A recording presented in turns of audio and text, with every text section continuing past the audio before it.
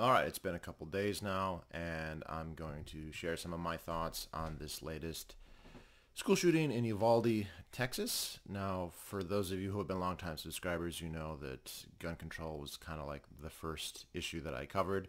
I think the first 20 or 30 videos I made way back 10 years ago, or 11 years ago at this point, were all about gun control.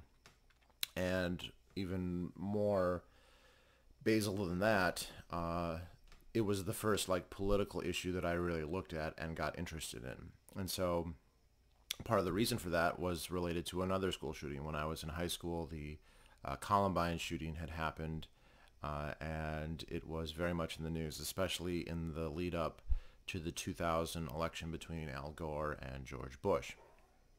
And there was a lot of stuff in the media about the NRA and about gun control. Now, I wasn't raised with guns. Uh, my dad was a bow hunter, so I was raised doing archery, but not guns. We didn't have any guns in the house, uh, and I don't believe I ever touched a gun. I think I saw my uncle shooting a gun once or twice, and it was a muzzleloader. Uh, he had been in the army and uh, was something of a gun aficionado and had a couple muzzleloaders that he would deer hunt with. And I think I saw those, but I never touched them, and I think I only saw them once or twice. And it wasn't something that was part of my life. Uh, but I looked at the issue as best as I could back then, pre-internet days. And then that kind of became the cornerstone issue for me. And it wasn't until I was in my mid-20s that I actually started buying guns, owning guns, shooting guns. Um, but it's continued to be a rich subject. There's so many interesting things about it. Uh, there's so many facets. You can look at the legal facets. You can look at the Second Amendment. You can look at the ethical and the moral, um, you know, uh, st- uh, uh, thought experiments. You can look at the history. And on top of all that, it can often be very dramatic. You can have these dramatic examples uh, where the principles get illustrated one way or another. And so whenever this happens, we get the same, um, you know, take being given that we need to restrict guns, we need to ban guns. It's so far for a very long time it just seems to not have been working. You know, you had the 1994 Brady Bill, uh, and part of that sunsetted in 2004, and there just seems to have not been. The, the forces of gun rights have proven to be robust, powerful, and organized. And it's not just the NRA. There's a whole plethora of organizations, and they're very politically keyed in. It's one of the very few issues, by the way, that um, has enjoys a lot of um, bipartisan support. There's a lot of Democrats who are more or less pro-gun. There's a section of the Democratic Party that is, well, there's a small section of it that's virulently anti-gun. These are the Dianne Feinstein's, have everyone turn them in if you could, um, the Carolyn McCarthy's, uh, you know, those types of people. Uh, and then you have a, a broader wing that favors uh, obviously some restrictions, but they don't usually talk about going that far. And these are the type who say, oh, I, I value hunting, but uh, of course you can have a shotgun, but, um, and the, but then you have a lot of Democrats who basically don't have any interest in gun control. And especially in some swing states like West Virginia, it's a big topic. So people, someone like Joe Manchin kind of needs to listen to the NRA. The NRA is going to be important to him. It's not important to everyone. Dianne Feinstein doesn't need to care about the NRA, but uh, Joe Manchin does. Um, so it's a fascinating, fascinating topic. Now, looking at what happened in Uvalde, I mean, there's so many things you could talk about, and I'm not going to cover them all because there's so many. But the thing that I want to talk about first is to go all the way back to the Declaration of Independence because I think that that really drives why this is such a fundamental issue for so many people, including myself. This is the very first thing that it says, for life, liberty, and the pursuit of happiness. Now, libertarian, most of you are libertarians, liberty is extremely important. You know, it's this, uh, it's something that uh, just morally and ethically seems to be, you know, the least impeachable, the best, the most certain moral philosophy. Not that it's perfectly certain. There are problems philosophically, but there's fewer problems with libertarianism uh, you know, a non-interventionist. Uh, I mean, I don't mean that in the international sense, but in, in interpersonal sense, uh, political philosophy, right? It, the less coercion you have, the fewer hurdles there are in your political philosophy. If you have a political philosophy that includes a lot of coercion, okay, maybe maybe that maybe that system has some merits, but you're going to have to come up with some pretty good arguments to justify the coercion. Because if you don't, and that co- if coercion is just a general principle that's always good and not only exceptionally good in certain cases, then there's just going to be mass true anarchy. There's going to be true like and in the pejorative sense anarchy. There's going to be people killing each other all the time. And not only will that happen, but you won't have any leg to stand on to say that it's wrong, right? If somebody comes up and commits a bunch of murders, if you have a poli- political philosophy that says coercion is, is basically fine or defines it so broadly that it's essentially practically fine for anyone to do, then you've got a lot of problems. Whereas if you have a political philosophy that tightly constrains coercion uh, very strictly, then that's going to have a lot fewer problems. And there's even a debate of whether libertarianism entails no coercion at all. Let's say, for instance, that somebody has committed uh, a crime against you, property crime against you. You go to libertarian court. libertarian court has a fair trial, whatnot, and then it concludes this person did commit a crime. They owe you restitution. And so you go forward and claim your restitution. You, you take their car or take their property or whatever uh, you could call that coercion. People are going to debate. People are probably going to comment and say whether it is or not. But you could say that it is, but you could also say that it's very, very constrained. It's not a general principle. You can't generally do that. It's only in exceptional circumstances like after a fair trial uh, and in the pursuit of reasonable sense of justice that it would be uh, okay. Another, another example, uh, maybe more pertinent to today's topic, would be if you are using it in self-defense, right? Now, uh, again, people are going to debate whether that's coercion or not if you defend yourself. And there's more or less ambiguous cases. So if you're getting attacked, if you've already been shot and they're coming in for the, the final kill and you are able to stop them, that's one thing versus they haven't actually hurt you yet or they haven't actually fired the first round, but you think that they're going to. That's a steep, uh, uh, a steep um, burden of proof on you, but not one that's necessarily impossible. Uh, but suffice to say, libertarianism uh, has the least amount of coercion, I think, and, and makes a very conscious attempt to reduce it. I think the other political philosophies often don't do that. They just are like, what what would feel good? What do we want? And then if that whatever amount of coercion is necessary to make that happen, then that's what we're comfortable with. But the principles that they use almost never make sense. You know, this is the big insight if you read. I mean, many libertarians have had this insight, but if you read the problem with political authority uh, by Michael Huemer. The the problem, uh, specifically speaking, is that the the principles that would make justify state coercion would justify almost all types of coercion that we would typically uh, that most people think is wrong. So if we go back to the uh, Declaration of Independence, life, liberty, and the pursuit, pursuit of happiness. Libertarianism very important, but the most important thing is life you know, and of course, other thing in the news, abortion. So that obviously comes into play there. But there's this understanding in that uh, in that sequence of, of values that without life, nothing else matters. You can't have free speech. You can't have freedom of assembly. You can't have freedom of a press. You can't have freedom of religion. You can't have any number of things. You can't have anything else uh, that's uh, you know corporeal uh, if you're dead right? Whatever you want to say about the afterlife that has no effect on your physical life uh, in the here and now or in the foreseeable future that you continue to exist. Uh, and so anything that kind of threatens that or invalidates that or takes that out of your hands uh, is an existential threat to all other rights, right? Everything else is contingent on that one.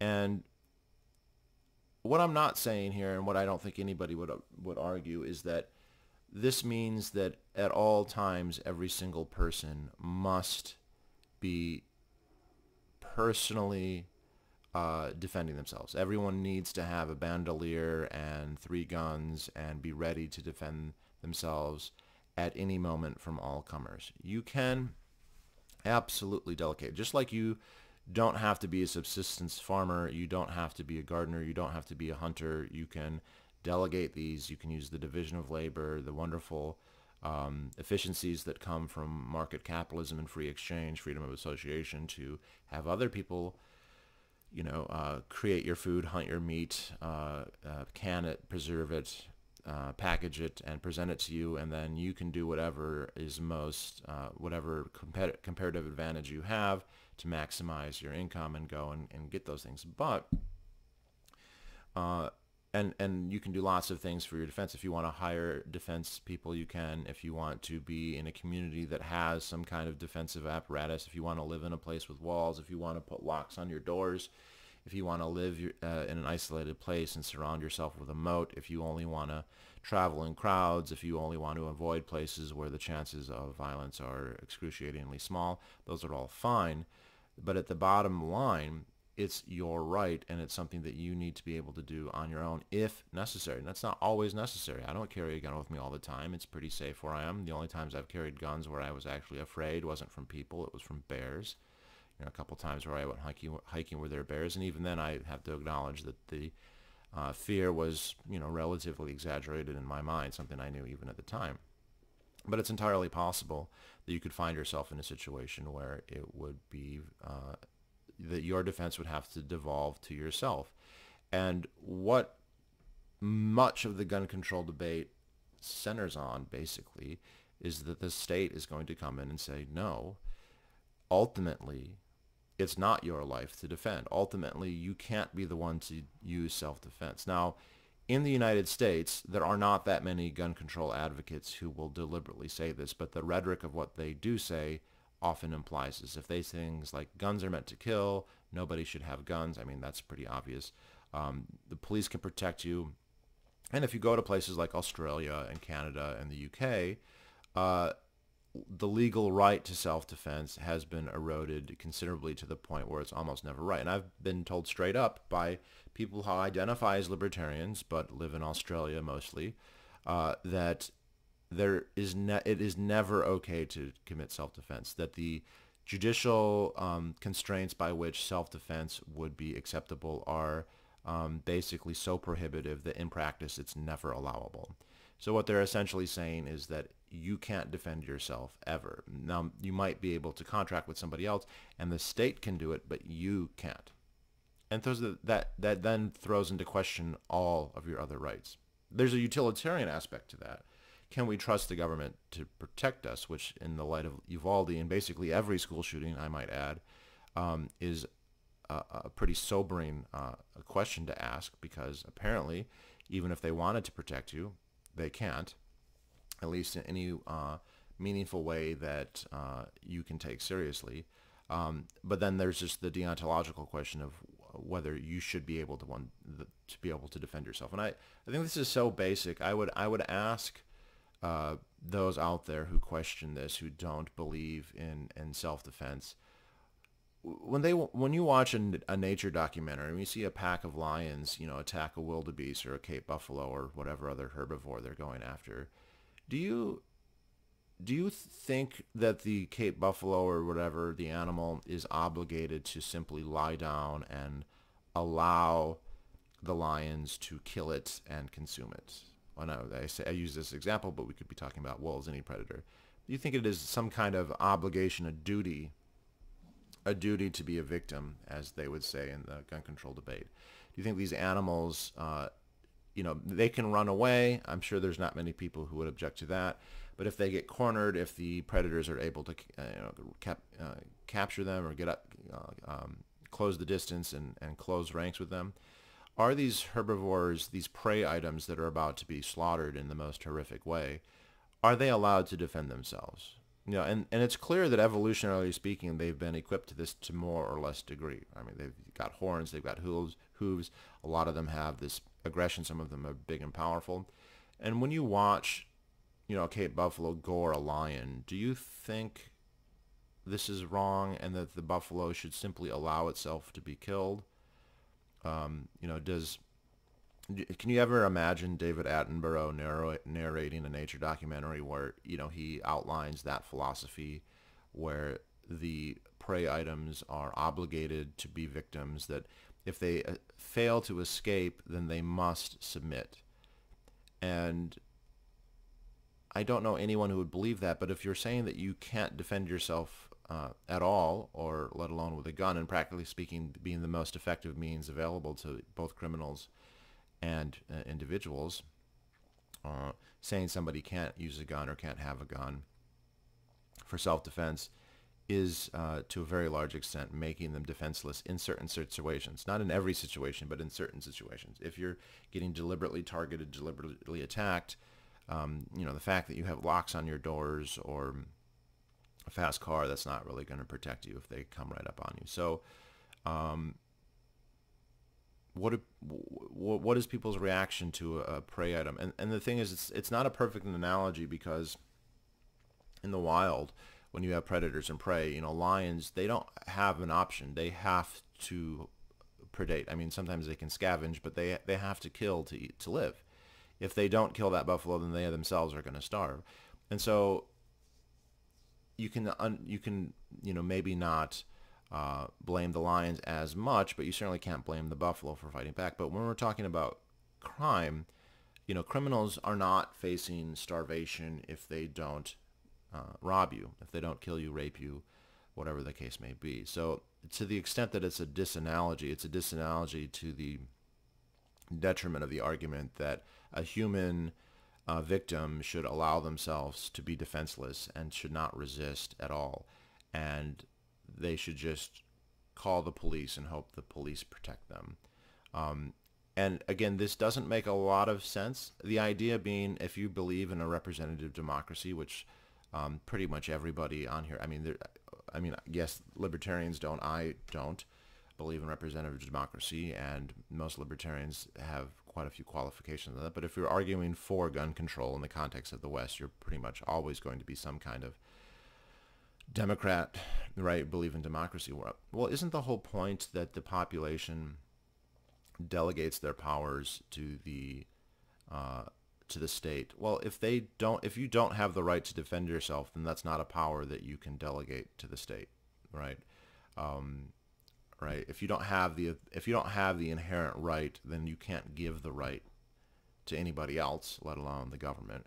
Um, but practically speaking, as we can see, they're not going to be able to protect you. And I think this is, to a large extent, two things. Uh, one, just wishful thinking, right? A lot of people, and this is what one of the most alluring things about government is you can hypothetically think something or say something and then just assume that the state will do that. And if you don't have a really good understanding of the incentives that are involved, of the economic process that goes into decision making, how bureaucracy works, how incentives work, um, how knowledge works, like the knowledge problem, like the, the state doesn't know who's likely to commit a crime and who's likely to be a victim of a crime. And even if they know, oh, this person's at a high risk, that doesn't mean they know that you're going to be mugged at 6.35 p.m. next Tuesday, right?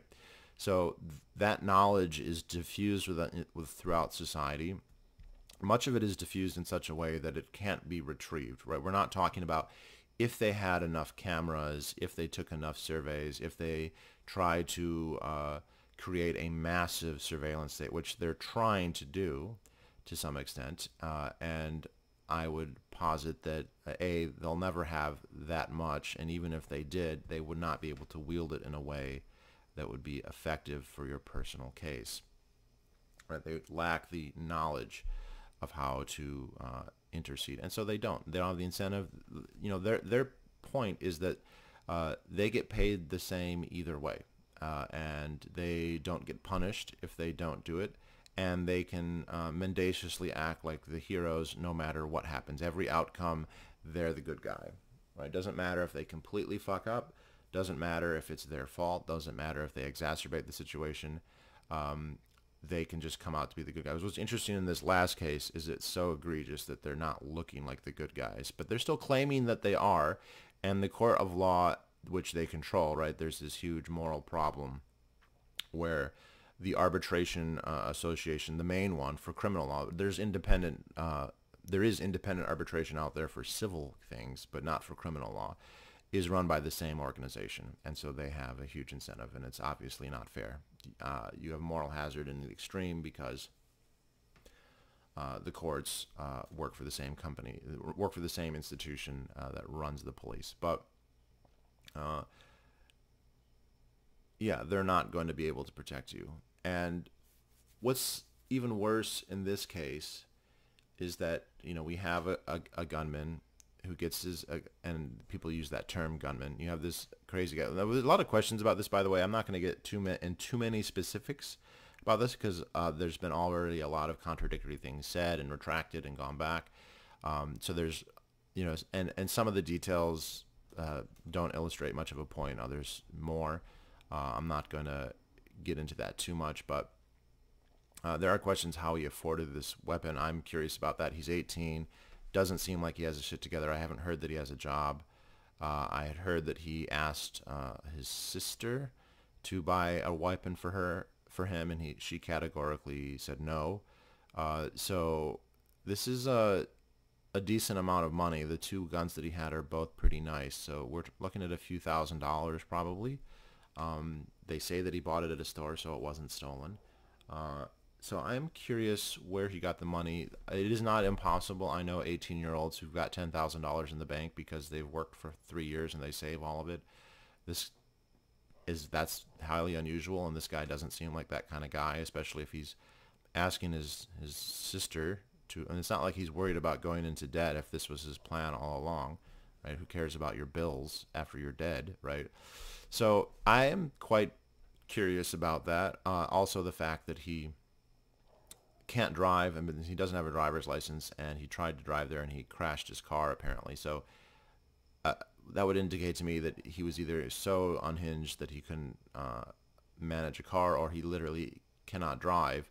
Um, so I'm not saying they were accomplices. I'm not you know I don't know any of that. Uh, so, some of these some of these school shootings are indeed extremely suspicious. The the the Columbine is just extremely suspicious if you look into it. There's a lot of stuff that was done to the crime scene after. There's lots of reports from people there, you know, witnessing uh, different activities. I don't want to get into that all now. If you can find it, there's a great, it's boring, but a great documentary called The Columbine Cause, which is basically somebody going through the, the, the county report. You know, the county issued like a 25,000 page report. Um, which included other things like students identifying other students besides Dylan uh, Eric Harris and Derek Klebold as shooters by name multiple times. Like multiple other students said, so-and-so was shooting people also. And there's pictures of this guy being led away by the cops, but ultimately he was never charged with anything that's fascinating. And that, again, it's possible students, you know, they're in a stressful situation. They misremember things. They, you know, see somebody wearing black. They think that he's a shooter. Who knows? I, am not saying, but um, fascinating. Uh, the Las Vegas shooting also, that was completely memory hold. That's by far the worst shooting in U.S. history. That guy had spent at least hundreds of thousands of dollars on fully automatic, like, machine guns and had obviously had a lot of it, it seems like he had help. There's so many cameras in those hotels that how we don't have, you know, exact documentation of every single thing that he brought, when, why, and how. Like, and the fact that it wasn't even covered, like the news just forgot about it, even though it was much worse than any of these other shootings. Fascinating. So with this, I don't know if these questions are going to be answered. You know, the first two witnesses who saw him worked at apparently a barber shop and they saw him retrieving guns out of the passenger car side of his crashed vehicle. Uh, and I'm wondering, like, was he riding the passenger side and someone else drove, uh, or you know, had he crashed and gotten out? Seems plausible. I don't know. Um, so you know, a lot of details here, but what we do know is that he goes into the school. The school already has a police officer there. So this isn't a case where they have to get on scene. They're already on scene. And within minutes, four or five more police officers enter the scene. And before the rampage is done, at least 19 different police officers are in the building and he's still alive and he's still killing people and they're still getting 911 calls begging for them to help and they're there and they're not helping and on top of that uh, some of the police went in and saved their own kids apparently uh, this may be come out to be false but it's been reported a couple times and I haven't seen it uh, questioned at any point. So, okay, they'll go and save their kids. But then there were also lots of parents and other people who were piling up, angry, wanting to go in. And the police were pepper spraying them, tasing them, and holding them back and saying, you can't go. And what is this saying? This is saying they're not your kids. It's not your decision. They're our kids. It's our decision. And if we want to sit on our ass, if we want to be cowards, and go in there and not do anything or maybe they weren't cowards maybe they were just so incompetent that they didn't realize it was i mean this is what i've most recently heard is they thought that it wasn't an active shoot, shooter situation anymore. I don't know why they would have thought that. They certainly hadn't killed the gunman. Did the gunman just tell them oh i'm not going to kill anyone anymore and they were like oh okay yeah so we'll just let you stay in the room with all the kids until you know until what? So I'd love to hear their uh, excuses for all this, but the bottom line is the entire point is that they own you. They own your kids and they own you. And they get to decide who gets defended and who doesn't. They want to save their kids, they can. They don't want you to save your kids, you can't.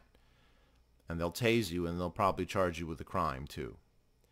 And this is what gets me passionate about it, is that they're so incredibly mendacious that they will completely fuck up in every way. This whole time, they tell us we protect and serve. Every time you get pulled over for speeding, right, you're going 45 and a 35 uh, in the middle of the night, and you see the lights and this jackbooted, you know, paramilitary uniformed officer comes up, and they have this cocky attitude, like uh, they're God's gift to the world and that they're the ones in control and they're the ones with the power. And you need to be deferential to them because they're the authority and they're the they're the good guys and they they have the righteous might of the state behind them you know? And they're going to say ultimately oh well legally I can do all this and I can feel this way sure. But also you should because I'm the one who will defend you. I'm the one like if you need help it's gonna be me. And so you're like you're doing me a solid like you you just kind of like owe it to me right? Like your friend if you had a friend who saved your life right? Like literally saved your life you know you might understand if that friend felt entitled to some um some like that you, you owe them that you you felt maybe some obligation. You had the Chewbacca life debt because their friend saved you. And the, you know a cop hasn't saved you they probably haven't saved anybody. But they still want you to act because it's on the potential that someday they might save you.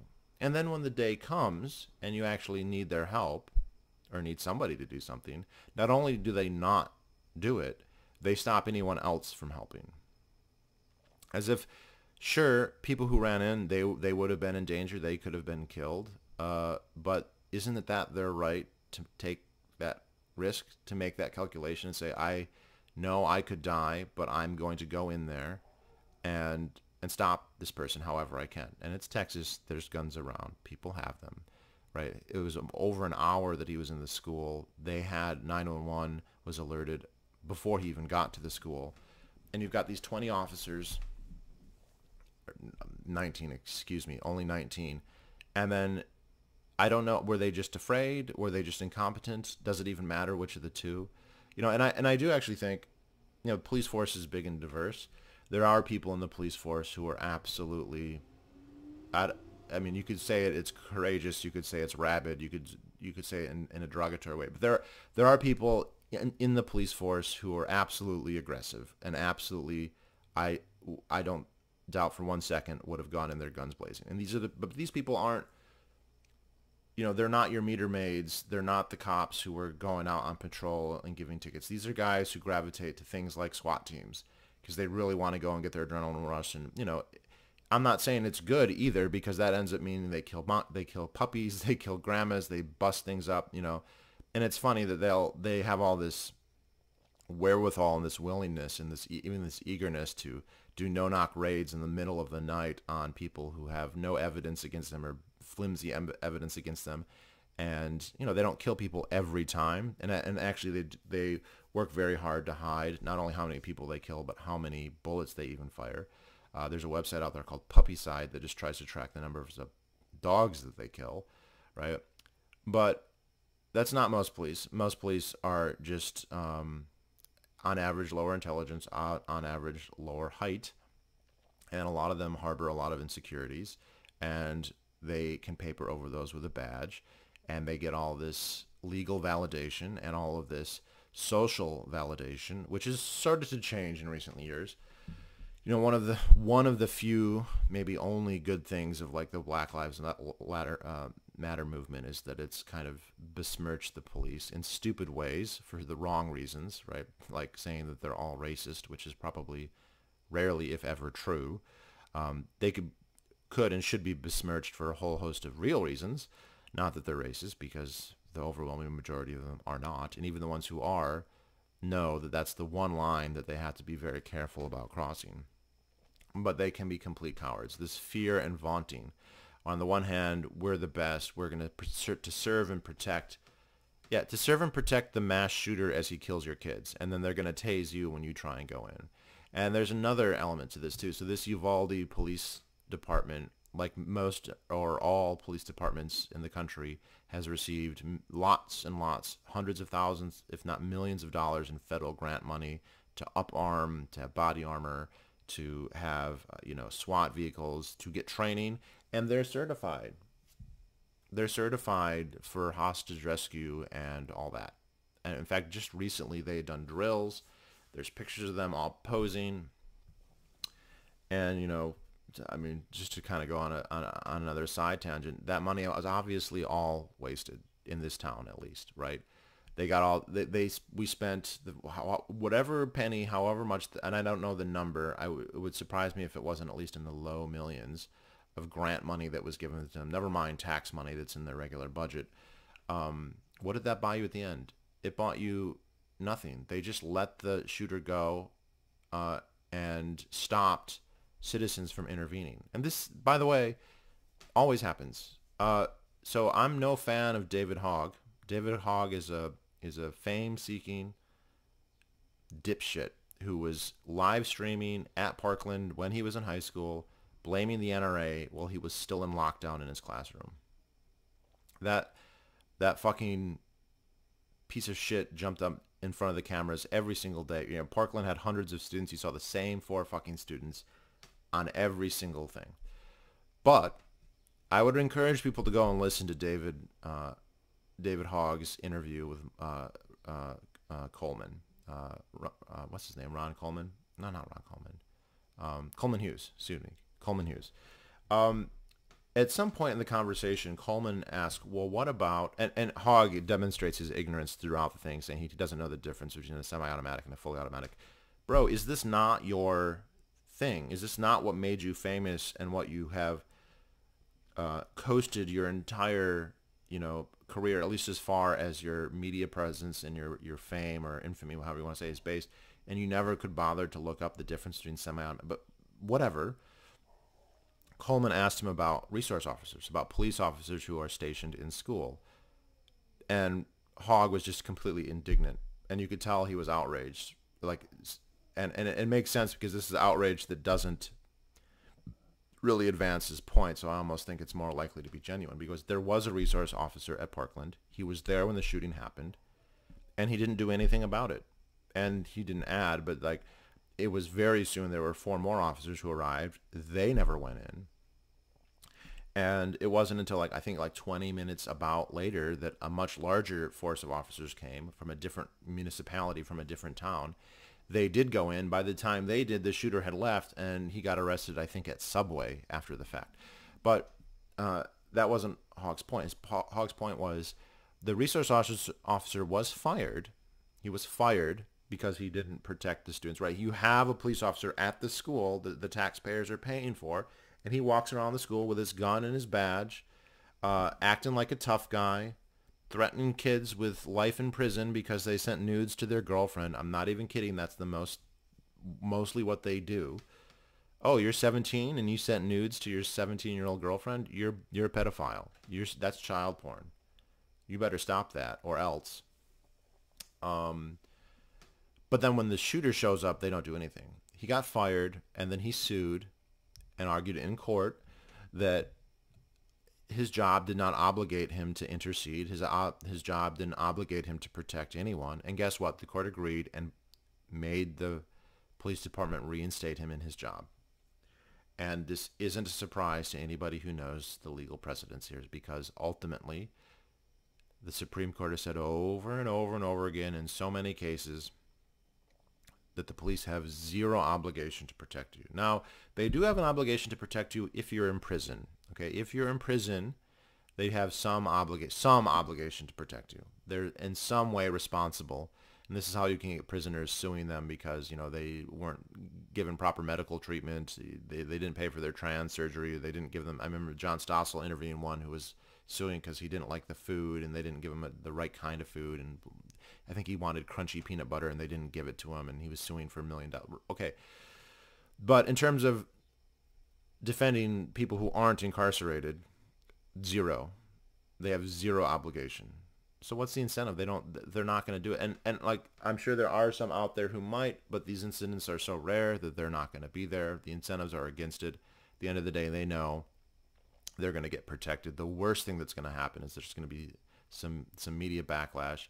They might lose their job or get transferred or put on administrative leave, maybe. Which that's not a big uh, you know detriment to someone versus like maybe getting killed. Or you go in there and you kill other students which that's also happened. I think uh, if you look this wasn't a school shooting but the pulse mass shooting so the the afghanistan immigrant guy who took over a gay club uh, there's pretty good evidence that a lot maybe even the majority of the victims quote unquote weren't killed by him. They were killed by the swat team that came barging in. That he killed a few people. So yes mass murder horrible person bad situation kills a few.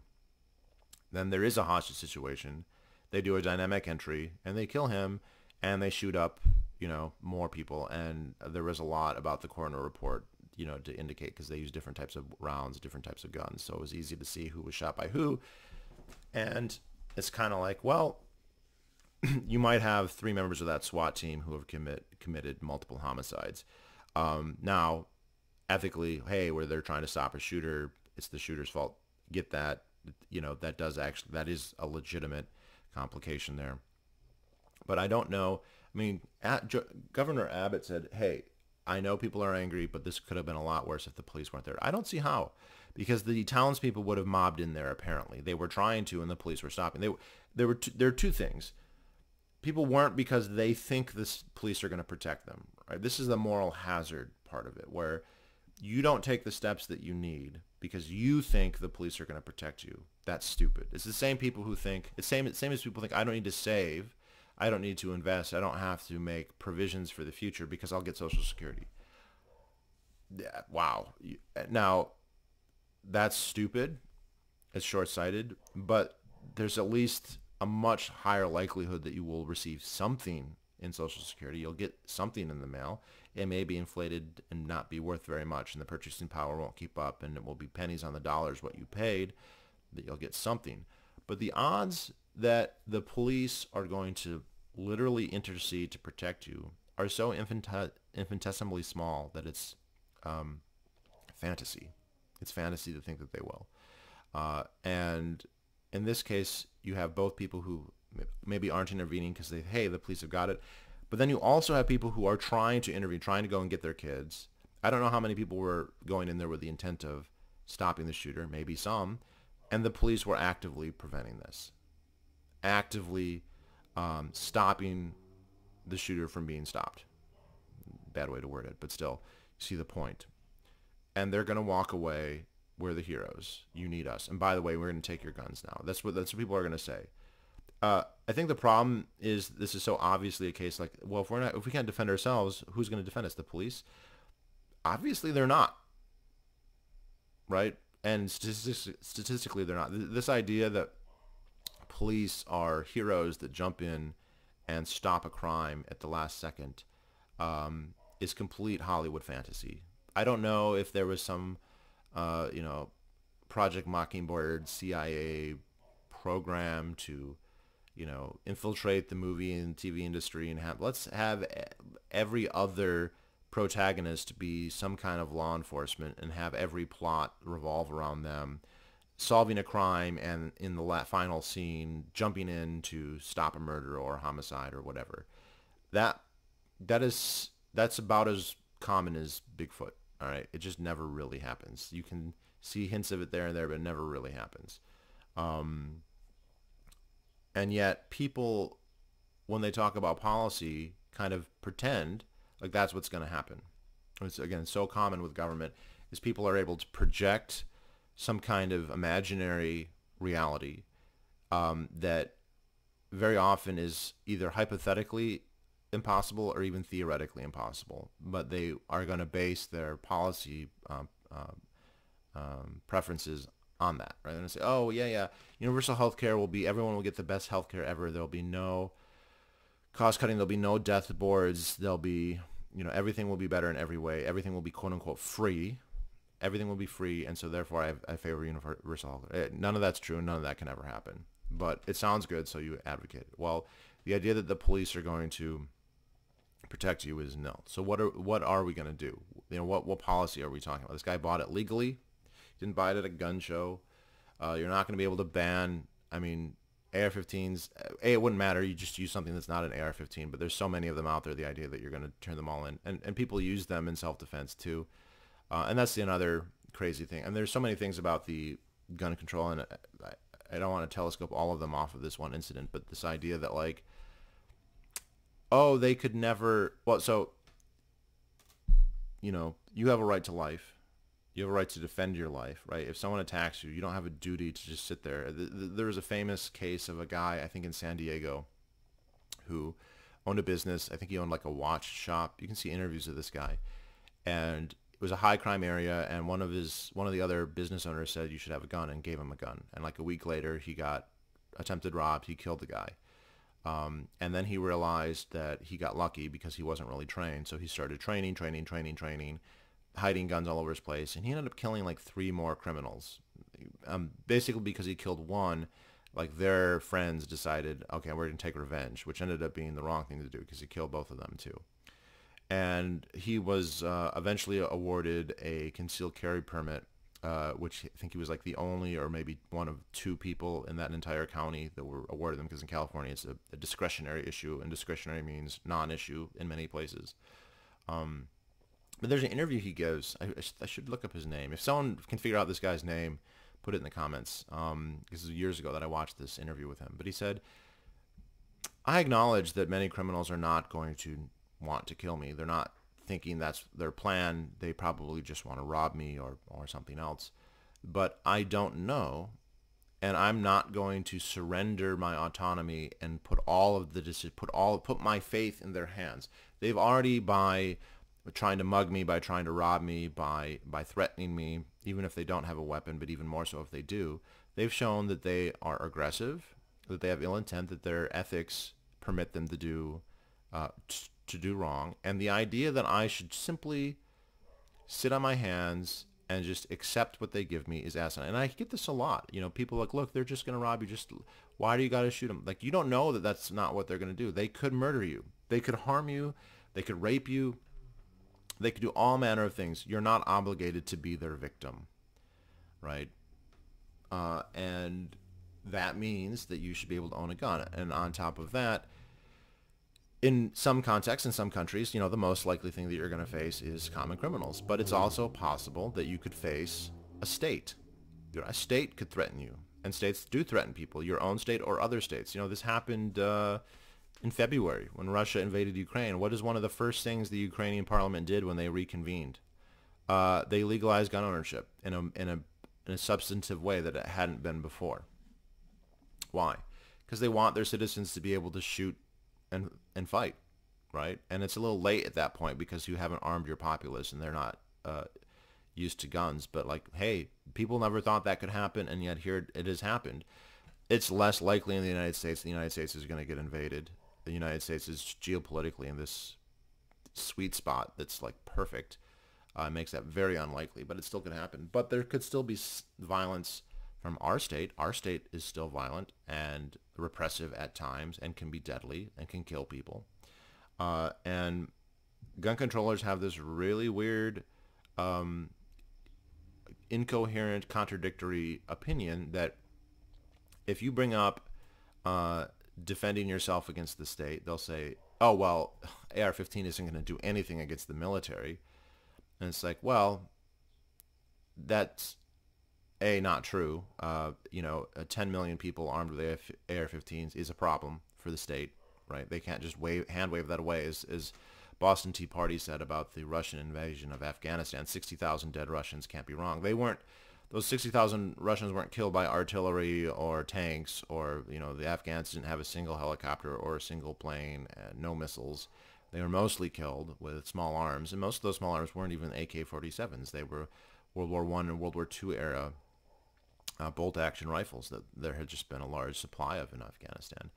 Um, but if so, that that's just wrong. Also, it's not an argument for banning guns altogether. It's an argument for just legalizing more weapons. Um, uh, it's just an argument say, okay, yeah, maybe maybe it is a problem that we don't have our own drones and tanks and whatever else. So maybe we should legalize those. I don't know how many people would own them, how many people would be able to operate these crew operated weapons. It's like who's going to have the, the, the funds to, available to to keep them up. You know, not many, but hey.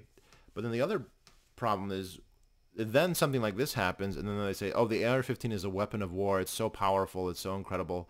Um, the police all cowered in fear, and it's understandable. They were outgunned. The police had no no chance against an AR-15, so of course they didn't go in, and and they can kill they can kill 20 people. Uh, and well, first of all, if you if you prevent other people from interceding, if you give the killer an hour in a closed-in space, he doesn't need an AR-15. He could use a fucking muzzleloader to kill 20 people. You know, even the slowest muzzleloaders take a minute to reload. So he has two of them. He's got one that's loaded, fires one, kills one person. He's got the other one as a backup in case people charge him. Loads the other one. 20 minutes, he's killed 20 people. You don't need an AR-15 if the police are going to run interference for you, which they did in this case. Whether that was their intention or not. I mean, I'm assuming it wasn't their intention. Like, but, you know. But, uh, yeah, you don't now all of a sudden AR-15 is a weapon of war that's too powerful. So like when they want to ban it, it's it's too powerful. It's the most terrible thing ever. It's a weapon of war. It belongs on a battlefield, fully automatic, death ray. But then if you say, well, but we could use them to defend ourselves against the state, like, no, no, it would never work. It would be, it would be, the aircraft carrier would just run over you, right? Yeah, they would just hydrogen bomb you. They would just shoot atomic bombs and blow up every city in the country to stop the people who have AR-15s, right? They're going to target every AR-15 with a hydrogen bomb. Yeah, okay. So uh, I don't think this is going to lead to anything. I really don't because it, the cat is out of the bag. You know, we've lost on so many issues. Uh, our rights have been eroded in so many ways. But the Constitution did one good thing, the Constitution is in many ways just a piece of paper. It's a piece of paper a lot of people believe in, and some in some parts more than others. And you know, I mean, the First Amendment's actually lost a lot of its stalwarts. You know, the ACLU has become very not First Amendment at this point. You know, what, what, whatever happened to defending neo-Nazis and Skokie, now they're talking about banning books that are transphobic. But Second Amendment also had its advocates, and it has millions of them, and they're organized, and they get their story out there, and they've been very effective, at least at the national level, and in many cases at the state level, at either uh, stopping gun control or even repealing stuff that had gotten passed earlier. It's, it does seem like there wasn't that much of an active gun rights movement mid 20th century, and it wasn't until the late 20th century that it started to really pick up steam, and now it has. There's been a revolution when it comes to things like concealed carry, constitutional carry in this country. Just in my life, it's changed radically in most of the country, and it's continuing to do that. Those trends are all in the right direction.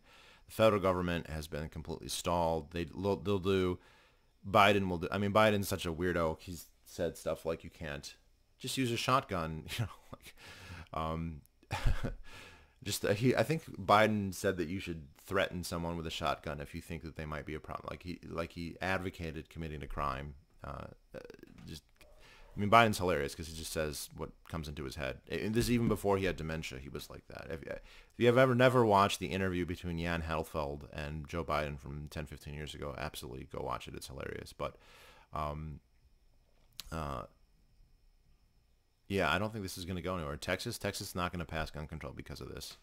Um, and if people say, "Hey, we should do something," yeah, we should just abolish public schools. They shouldn't exist at all. They don't. There is no Second Amendment for public schools. They have no constitutional reason to exist. They're victim disarmament zones. You know, these people, if you want to kill a bunch of people, if you want to gain infamy, you don't go to a gun show. You don't go to a sport. You don't go to a Bass Pro Shop. You don't go to some place where they might have guns, or, or you don't even go to Walmart because in most states there's enough concealed carry. There's a couple hundred people in Walmart. There's a couple people with handguns in there. You're going to get killed. And you're not going to have such a huge death toll. But schools don't don't even allow their teachers who are registered to carry concealed in almost every state. I think there's like Utah is like the one state that doesn't, and you don't ever hear about school shootings in Utah, right? I mean they're low. Then that I mean again fascinating debate. These are black swan events.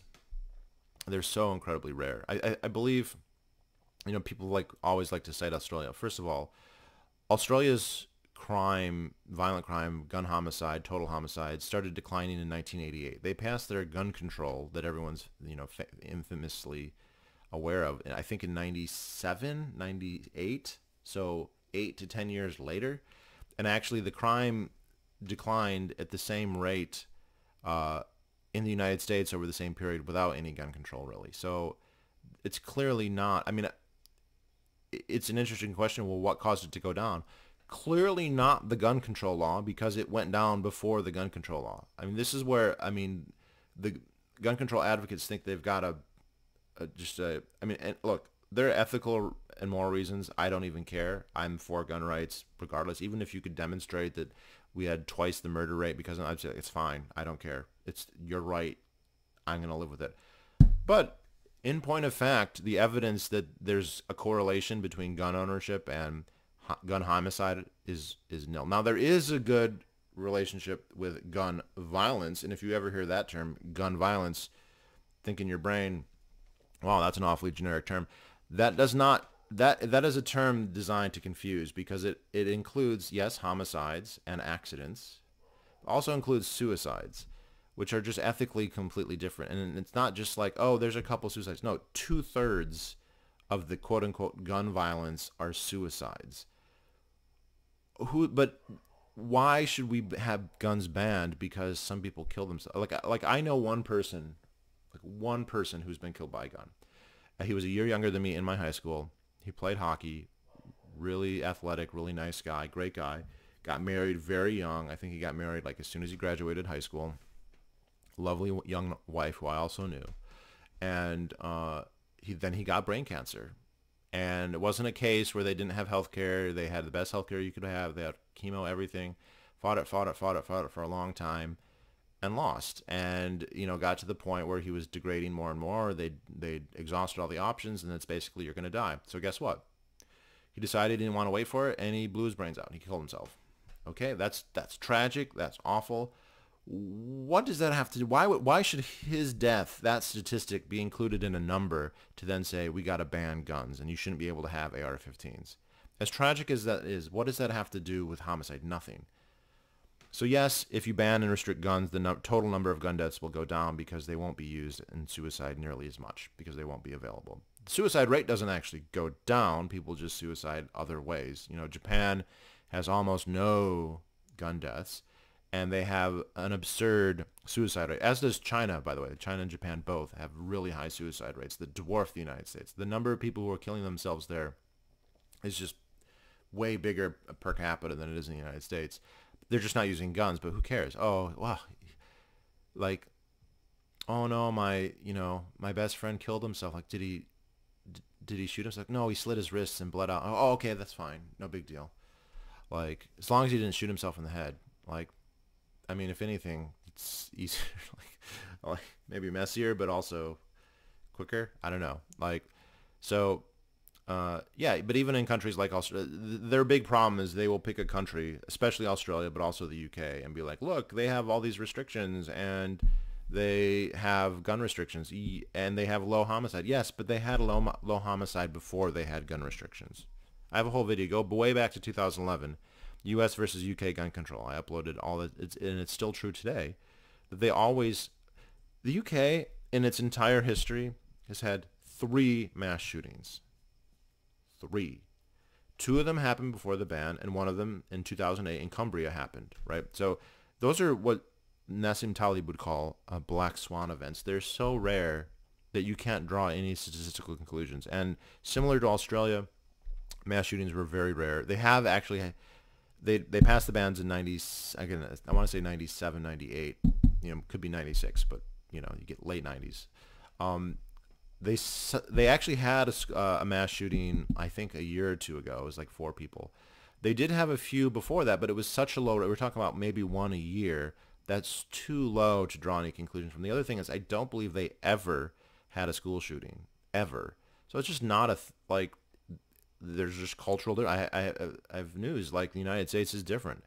We have a different culture, uh, and people express that in a different way. But uh, you know, in terms of mass shootings, it's not even the case that the United States has the most per capita of quote unquote Western countries. They happen in Scandinavia. They happen in Germany you know, Norway's way up on the list because they they've had a couple, but they had one that was such a high um, casualty event that it's just skewed the numbers. But like it's a small country, right? That's that's that's you only have five million people, and one of them goes and shoots 67 people. I believe, by the way, he's like already out of prison or whatever, or on probation or something. You kill 67 people and you're on probation. What the hell? No wonder they're gonna have another mass shooting probably. So, yeah, the argument. I mean, I the utilitarian arguments would not sway me, but the truth is they're not persuasive anyway. And I, I you can't get I cannot get people to engage with this. I can't tell you. I mean, you know, I'm gay. I know a lot of Australian gay guys. I mean, there's good reasons to like Australian gay guys, but even the libertarian ones tend to be strongly anti-gun, more so than even like the British libertarians. British libertarians seem to be much more cool on this than Australians. I don't know why that is. There's there's obviously something that's different. Uh, but you can show them the graph and you can say, look, here's the homicide rate in Australia. It starts to it starts to tank in 1988. So how is that? How is a gun control bill that's passed in 98, 10 years later, or maybe eight years later, or even one year later, though, would ruin the argument. But we're like not we're, we're an order of magnitude further than that. They have nothing. And I one guy said, well, it's the you know the the the government program says it's to protect us, so maybe okay, but just be so it's the Patriot Act is really patriotic, right? If the government says that it's for something, then that's what it does. Come on, so yeah, it's absolutely infuriating. Uh, uh, none of it none of it stands up to any scrutiny. It's really frustrating, which is why I made 30 videos about it or 20 videos about it way back. Well, I continue to make videos about it. The police can't protect you. They won't protect you. You're a fool if you think that they will. Uh, you're a fool if you think gun control. I mean, in the context of the United States, it's such an asinine discussion. Uh, we can 3D print guns. They can be manufactured. People know how to make them. Not most people, but enough people that there's going to be a demand. There's going to be a market. They can't stop drugs. They're not going to stop guns. Uh, and um, it's just going to... And, you know, uh, major restrictions will make it harder for criminals, but they'll make it impossibly hard for law-abiding people. Law-abiding people will, you know, turn them in at a much higher rate. Uh, and so relatively speaking, the uh, innocent people or the law-abiding people will become disarmed relative to the criminals. That's not going to be good. Even if even if the number of guns the criminals have gets cut by half, oh, that's great, right? But if the number of guns held by private people gets cut 80%, now, you know, private um, you know, law-abiding people are uh, disproportionately disarmed. So no, that's not good. That's bad, right? You've made it worse. And also, like these things don't. Uh, they tried to do a AR-15 ban in Connecticut, and I think they had like less than 10% compliance. It was completely like, in this Connecticut, Connecticut. People just, nope, not doing it. It's not happening. This is not happening. Like this is, this is just one of those things. It's not happening. Just give up. It's a losing issue you know, Democrats, you've got five dollars a gallon gas. You don't want to be pissing off the NRA at this time. So, um, anyway, I think I've talked long enough on this. Let me know what you guys think. If anyone hears any other rumors or stories about what happened, I'd love to hear. But otherwise, have a great day. Goodbye.